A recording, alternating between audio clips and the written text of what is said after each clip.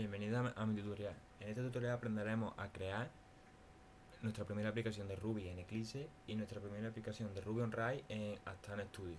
Lo primero que tenemos que hacer es instalar el intérprete de Ruby. Para ello, abrimos un terminal y escribiremos sudo apt-get install ruby 1.9.3. El 1.9.3 es la versión de Ruby que vamos a instalar. Nos pedirá que si deseamos, si deseamos instalar eh, el intérprete, le diremos que sí. Una vez que lo tengamos instalado, comprobaremos que el intérprete que ha descargado es el que queremos. En este caso, sí, el 1.93.3. A continuación, instalaremos el RubyGem.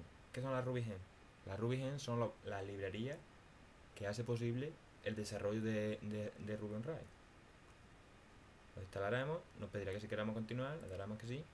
Y una vez descargado, comprobaremos la versión de Ruby que tenemos. En nuestro caso tenemos la 1.8.15. Nosotros queremos tener la última versión estable de Ruby Para ello, tecleamos en el terminal sudo gem install rubygems-ud. Con esto nos descarga la última versión de Ruby que es la 1.8.24. Cuando se termina de descargar y le damos a gen-v, nos pone la versión que teníamos anteriormente. ¿Esto por qué se debe? Esto es porque descarga la versión, la última versión estable, pero no la pone por defecto. Para ponerla por defecto, ponemos en el terminal sudo ud-rubygems y ahora comprueba que, que la versión está instalada y una vez que la comprueba, la pone por defecto. Una vez que tenemos el paquete de RubyGems, instalamos los Rails. Para ello ponemos sudo gem install rails. Esto descargará todas las gemas y la instalará con toda la, documentación correspondiente. Esto tardará bastante. Una vez que se haya descargado, comprobamos la versión que tenemos. En nuestro caso, la 3.2.9. Otra cosa que hay que hacer es, una vez que tengamos el intérprete, tengamos eh, la, eh, Ruby on Rails y tengamos la RubyGems lo que tenemos que hacer es instalar una base de datos por defecto. La base de datos que usa Ruby on Rails es SQLite. Por tanto, nosotros hemos instalado SQLite. Para ello hemos, puesto en el terminal sudo que insta sqlite3 libs sqlite3-dev. Nos pondrá el requisito de la instalación y nos lo descargará. Una vez que la descargue, volvemos a teclear sudo gem insta sqlite-dev Ruby, SQLite3-Ruby. Esto lo que hace es enlazar la base de datos con Ruby para que tenga pleno acceso. Una vez esto, vamos a crear nuestra primera aplicación de Ruby en Eclipse. Para ello nos vamos a Eclipse. Abrimos el Eclipse. Nosotros vamos a trabajar con Eclipse 1. Pero si ustedes queréis trabajar con la versión Helio o, Índigo, que no, importa no importa la, versión con la que trabajáis, al final el resultado va a ser el mismo. Aquí nos dice el espacio de trabajo con el que, con el que va donde va a guardar los proyectos y los ficheros, en nuestro caso barra home barra Rubén. Le daremos OK. Esperemos a que, a que se cargue.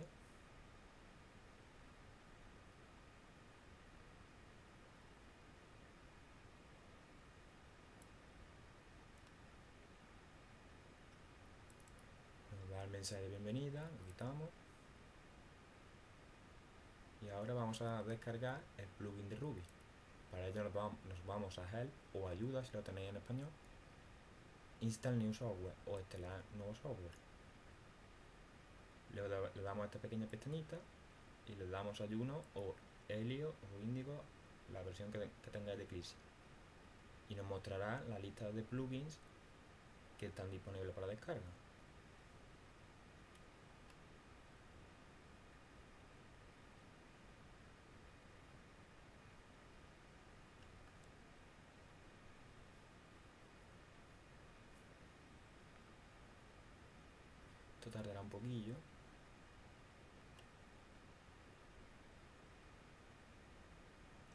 Una vez que aparezca, nos vamos a lenguaje de programación, Programming, Programming Language, le damos la pestañita del más, el símbolo de más, y buscamos Dynamic Language Toolkit Ruby Development Tools. Lo marcamos, le damos siguiente o next, si lo tenéis en inglés. Siguiente, aceptamos los términos de la licencia, finalizamos y esperamos que se instale.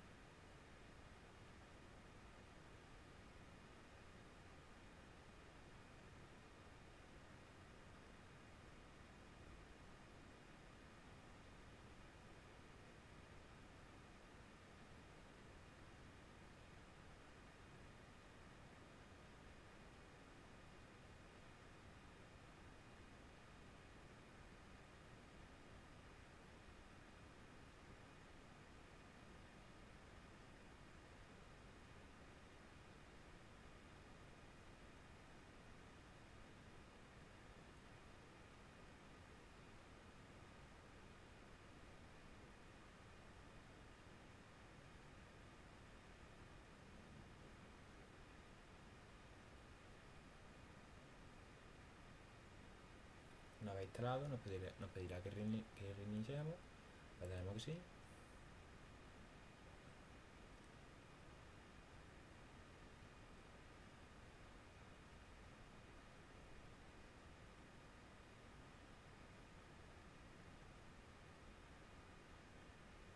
Nos vuelve a aparecer el mensaje de, del espacio de trabajo. Si queréis, si queréis que, no, que no vuelva a salir más el mensaje, le damos aquí y ok y ya, no, y ya cada vez que carguemos Eclipse no nos volverá a aparecer ese mensaje.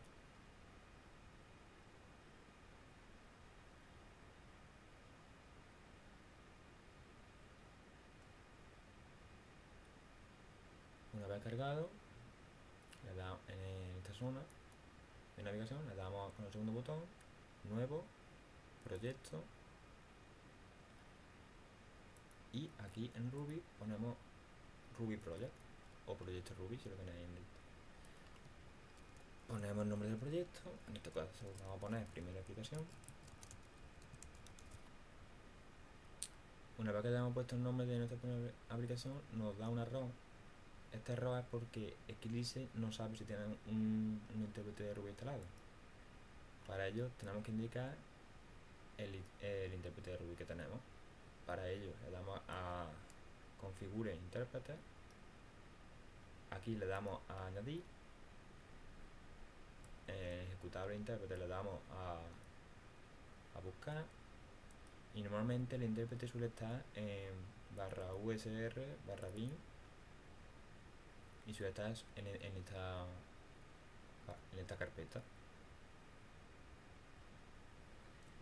Vamos a buscar ruby. Lo seleccionamos. No seleccionado, nos aparece aquí toda la, todos los intérpretes, todas las cosas necesarias para el intérprete de Ruby. Le damos OK, OK otra vez y finalizar.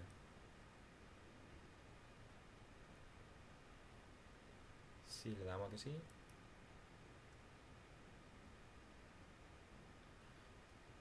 una vez que se haya creado el proyecto, le damos segundo botón, New, Ruby Class. Y lo vamos a llamar por ejemplo Hola Mundo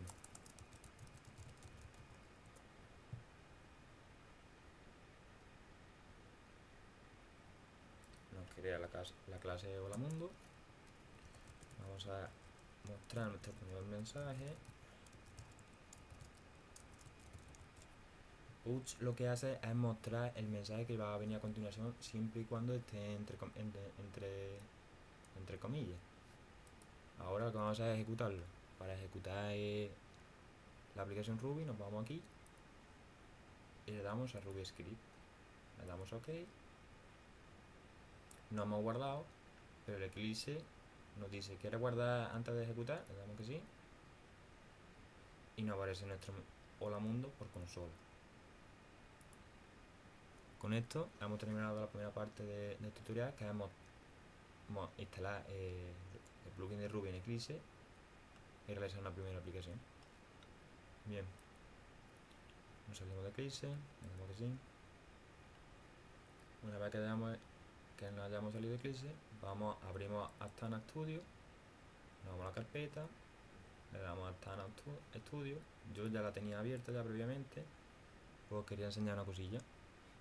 Antes de crear, cuando creamos un proyecto, vamos a crearlo, Rise Project, a poner Rise por ejemplo.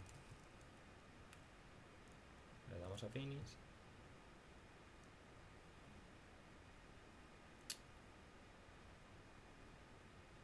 y nos sale aplicación está siendo usada. Eso es porque tenemos una, otra, otro proyecto que está siendo utilizado ahora mismo. Lo que os quería enseñar. Cuando hemos puesto lo de la parte del SQLite si no la hemos instalado previamente tenemos problemas al crear nuestro proyecto. Estos son los problemas son los siguientes a ver si puedo Estos son los paquetes necesarios que necesita para instalar.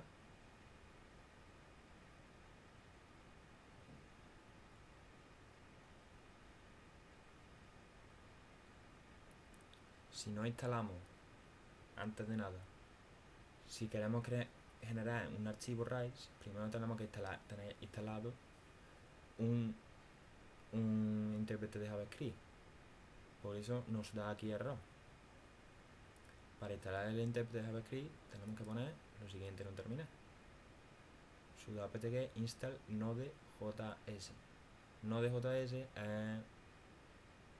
mm, se diría como un servidor o intérprete de JavaScript que se ejecute en el lado del, servidor. ¿Vale? Una vez instalado eh, el Node.js ya podemos crear nuestro proyecto Rails. Este lo borramos.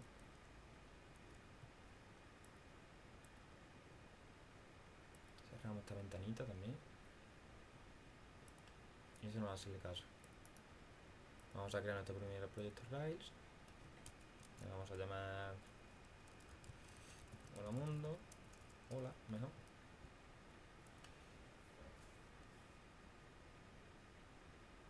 Y nos genera los archivos necesarios, los archivos necesarios para, para su creación. Esto tardará un, poquito tardará un poquito.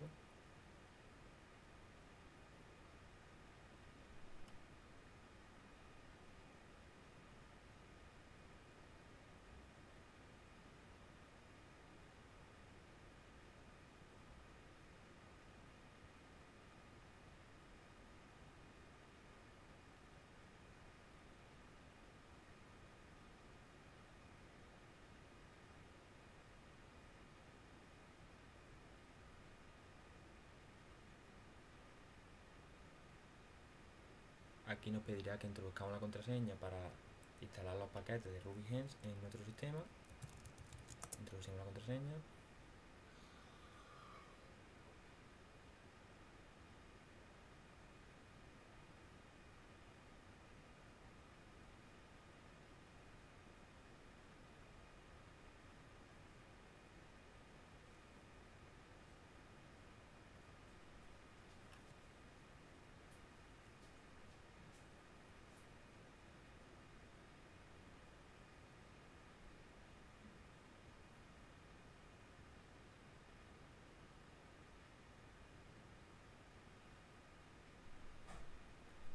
Dice que, ha, creado lo ha creado perfectamente el proyecto Rise.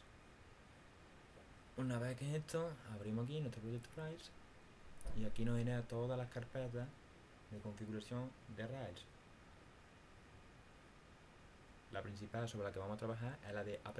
Aquí es donde, donde contiene la aplicación Rails que vamos a crear. En controllers. Ya viene una aplicación por defecto Así que vamos a crear nuestra propia. Para ello tenemos que poner rise g o generate. Nosotros vamos a poner g más cómodo. Control yer y vamos a poner hola mundo y ponemos un index después. Ahora os indicaré el por qué ese index. Introducimos, damos a intro y nos crea nuestra aplicación. Sin controles, bueno, le podíamos dar a F5, pero nos lo ha pillado ya directamente. Aquí nos crea en controles es donde se va a guardar el código, la aplicación Ruby y luego en views que es en muestra esto es lo que, donde se va a mostrar en el navegador nos va a crear una, carpeta llamada mundo con el index.html el punto .erb es Ruby en HTML para que el navegador interprete que, tiene, que hay código HTML y código Ruby por eso cuando aquí hemos hecho es Rails generate controles genera un controlador que se llama hola mundo y aparte también genera una vista llamada index.html. Es recomendable y os sugiero que pongáis index.html porque cuando accedáis el navegador lo primero que va, a hacer es introducirse en el index.html. Bien, una vez, que hayamos hecho esto, abrimos nuestro hola mundo. Nuestro hola mundo va a ser, va a ser raíz de la aplicación de controles o al revés. Aquí vamos a definir en index in lo que queramos que se muestre en el index.html. Vamos a crear un arroba, bar, arroba mensaje que va a ser una variable que va a contener texto. Vamos a poner, por ejemplo, primera aplicación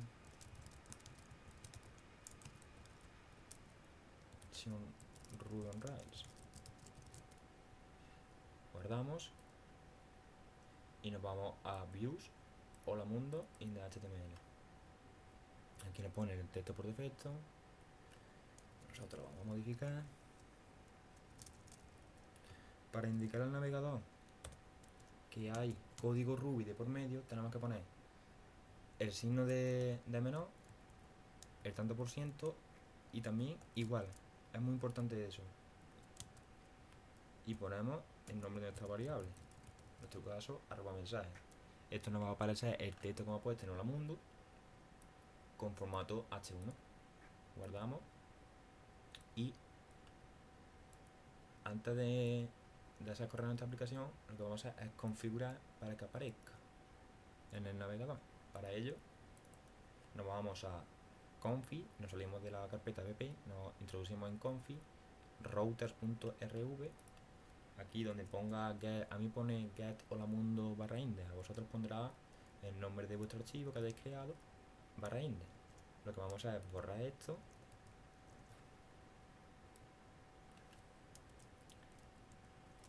Ponemos resources, dos puntos, hola mundo que es el nombre del archivo que tenemos. Esto lo que va a hacer es redirigirse al, archivo hola, hola mundo. Ahora veremos el ejemplo más claro. Una vez que hayamos hecho, vamos a arrancar el servidor. El servidor web. Lo podemos hacer de dos maneras. O bien lo hacemos run server desde aquí, o bien por lista de comandos. Yo, como estoy acostumbrado a los comandos, write server y nos carga el servidor web que es WebBrick, aunque eso se podría modificar por un servidor que vosotros queráis y Rise, la versión 3.2 aplicación arrancará en, en el localhost 2.3000 se guardará en el puerto 3000 perdón, se guardará en el proceso 15.675 y se abrirá por el puerto 3000 nos vamos a menú abrimos nuestro navegador web.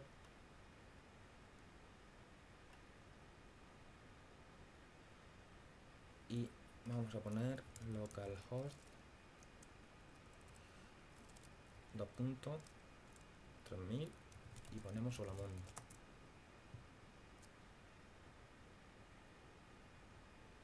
Y esta es nuestra primera aplicación en Ruby on Rails. Espero que les haya gustado.